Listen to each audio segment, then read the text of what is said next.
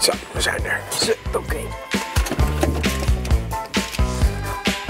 Mam, heb jij wel eens contact gehad met buitenaardse wezens? Nee, niet dat ik weet. Nee? Nee. Misschien vandaag wel. Kom mee. Welkom Trudy. Eh, Kevin is Hallo. nu in de tuin eh, aan het praten met Philip over de IT-healing. En jij mag nu een healing ondergaan. Dus als je je schoenen even zou willen uitdoen en plaatsnemen op de tafel, dan gaan we beginnen. Nou, mijn moeder die krijgt op dit moment eh, de healing. Filip, eh, tijdens zo'n healing wordt er contact gemaakt. Maar hoe gebeurt dat nou? Iedere IT-healer heeft, een, eh, heeft een eigen gids, een persoonlijke gids. eh, ook een, een buitenaardse gids. En die maakt feitelijk het contact met, eh, met een medisch team. Trudy, jij mag nu als je wil je ogen dicht doen. Jacqueline en ik gaan allebei jou healen. En op het moment dat de informatie doorkomt, dan geven we jou die door.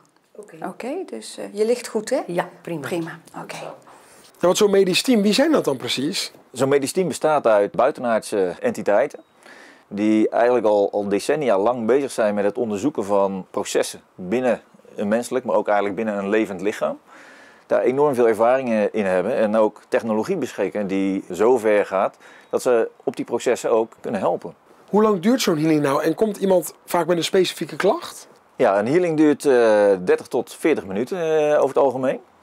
En de meeste mensen komen met een specifieke klacht. En ze brengen ook warmte nu. Eh, ik, ik krijg dus het beeld van een, eh, zo'n infraroodlamp. En eh, dus ze willen daar ook warmte naartoe brengen. En eh, ja, dat is allemaal symbolisch. Hè? Dus de dingen die ik doorkrijg, die, die ik te zien krijg, dat halen ze eigenlijk dus ja, uit mijn onderbewustzijn. Dus de dingen die ik al weet.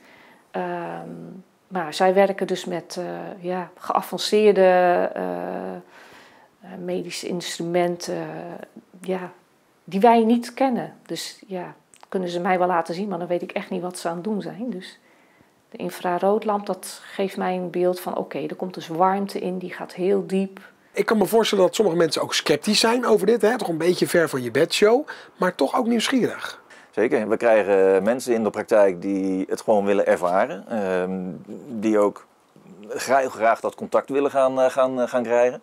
Is een healing altijd één op één of zijn er ook meerdere mensen bij? Het kan eh, zijn dat een healing ook met, met twee healers eh, plaatsvindt. Dan zie je dat ook dit, eh, de buitenaardse medische teams eh, gezamenlijk, eh, gecombineerd eh, samenwerken. Ik heb de healing eigenlijk als heel fijn ervaren. Eh, ik vond het wel heel spannend en eh, het gevoel was, eh, he- was duidelijk voelbaar dat er in mijn lichaam inderdaad iets gebeurde. Dat voelde ik heel duidelijk. Dus ik ben benieuwd inderdaad wat het voor de rest eh, nog gaat brengen.